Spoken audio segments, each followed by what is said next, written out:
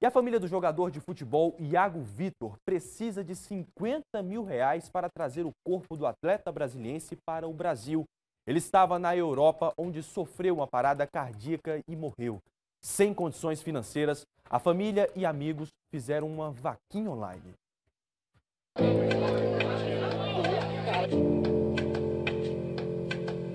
Nas fotos, a lembrança de um sonho que estava prestes a se realizar.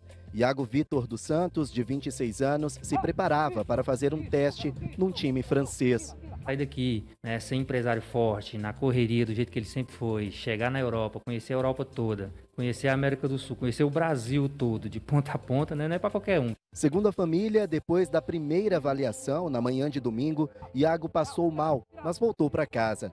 Horas depois, teve uma parada cardíaca. Ele mora com um amigo lá e foram para casa. No caminho passaram para almoçar, ele continuou se sentindo mal, não falou o que, que era. Demorou um pouquinho, ele começou a passar mal mesmo.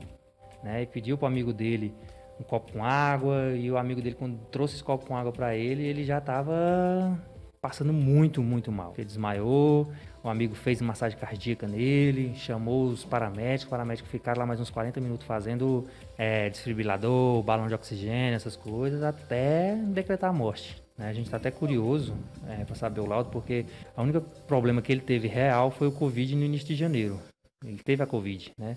Mas tanto é que todos os clubes que ele passou, ele nunca teve, faz exame médico para ser entrar. Nunca teve nenhum problema, nunca teve arritmia, nunca teve nada, absolutamente nada. Além do luto, a família enfrenta um problema: trazer o corpo para o Brasil, que custa 70 mil reais. Para juntar o dinheiro, parentes e amigos abriram uma vaquinha online. Ainda faltam 50 mil. As pesquisas que a gente fez foi de 12 a 15 mil euros, né? A gente não tem condições de bancar, porque a gente vai pagar uma funerária lá, início, onde é que o corpo dele tá, e vai mandar ele via avião para a França, porque não tem voo de início para cá. Da França, ele vai vir ou Paris, Lisboa, ou Paris, São Paulo, Rio, e depois Brasília. Chegando aqui, é outro procedimento, é outra funerária que não tem nada a ver com, com, com Europa. Aí é aqui. Iago viajou em busca de uma oportunidade em grandes clubes europeus. Antes de tentar entrar para um time francês, ele foi contratado por outro time, na Bélgica, mas foi no A20 de Portugal que ficou conhecido. O time publicou uma homenagem ao jogador numa rede social. Esse é o link da vaquinha online, organizado pela família e amigos. A lembrança é. Principalmente futebol, né, velho?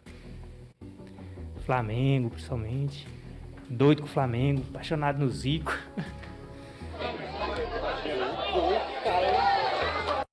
É, para ajudar a família do Iago, você pode acessar a página da Vaquinha no link que aparece aqui na sua tela. Daqui a pouquinho, a reportagem com acesso ao site estará disponível também no nosso Instagram, arroba Jornal Local BSB.